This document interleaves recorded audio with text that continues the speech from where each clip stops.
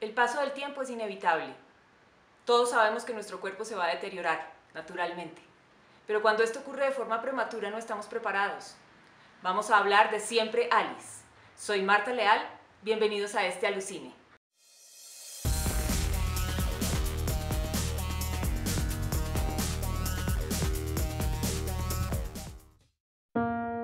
to the most beautiful and the most intelligent woman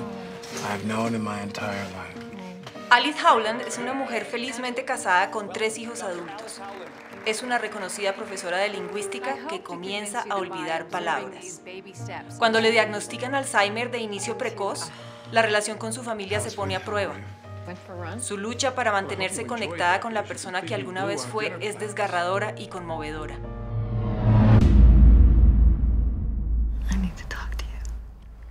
Lo más destacado de la película es la actuación de Julianne Moore en el papel protagónico, interpretación que le valió un Oscar en la categoría de actriz en papel principal.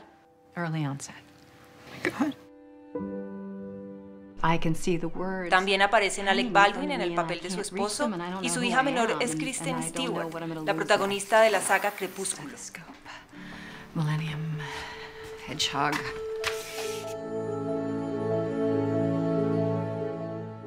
Los directores de la película, Watch Westmoreland y Richard Glatzer, recientemente fallecido, también son los autores del guion, que está basado en la novela homónima de Lisa Genova, neuróloga, científica y escritora de gran éxito. But we have to keep the important things in our life going. We have to try, or we're going to go crazy. This might be the last year that I'm myself. Esta película es un drama humano profundo que toca las fibras de los espectadores. La recomiendo para ver en familia y reflexionar sobre temas importantes.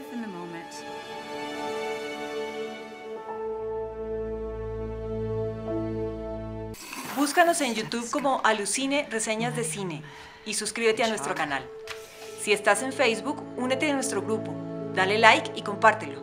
Alucine Reseñas de Cine. Esto es Alucine.